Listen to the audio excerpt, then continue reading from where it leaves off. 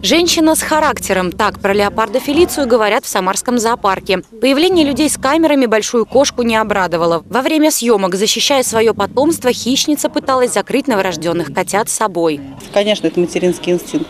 И поэтому она очень хорошая мать, она очень о них заботится, она никогда их не обидит и всегда очень к ним добра, она их вылизывает, заботится, они выходят, она их заносит обратно. То есть такое очень хорошая самка, нам с ней очень повезло.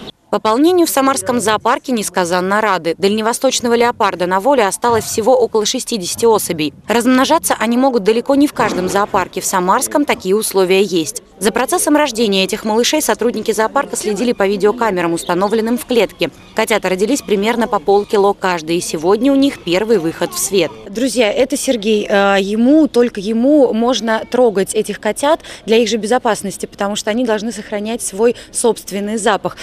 Сергей, насколько вам легко удалось вытащить котенка из клетки, потому что мы видели, мама очень агрессивна.